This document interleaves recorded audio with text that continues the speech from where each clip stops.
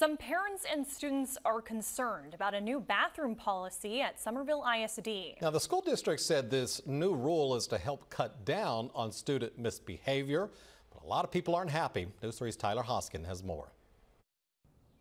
When parents send their child to school, the last thing on their mind is whether or not their child will be able to use the restroom. But a new policy at Somerville ISD that locks bathroom doors to prevent misbehavior is frustrating both parents and students. It requires students to use the restroom during the three minute passing period.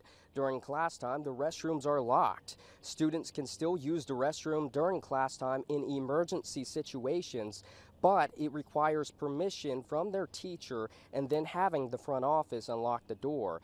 These extra steps have made it feel like a punishment for some students. Like, I get it's a problem and it definitely needs to be taken care of. I fully agree with that, but I think they're going about it the wrong way. Them locking the bathrooms just because of the kids that cannot behave in the bathroom, it's not fair to us who the superintendent of Somerville ISD said in an email that the policy is working well and he's only had one complaint. He also said that any student waiting in line for the restroom during the passing period would be given a pass for their next class. In Somerville, Tyler Hoskins, News 3.